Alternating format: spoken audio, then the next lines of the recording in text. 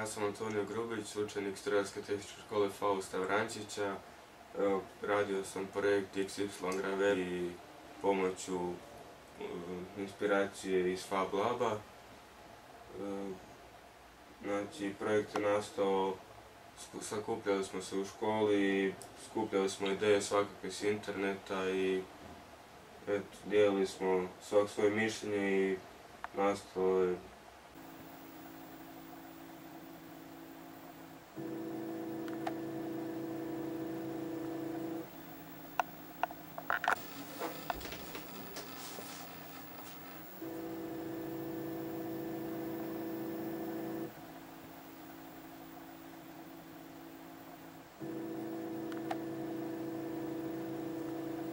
E, nakon prisustva na par e,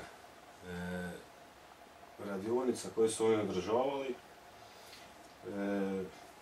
i njihovih ideja koje su donekle izgledale očekivajuće, pristupili smo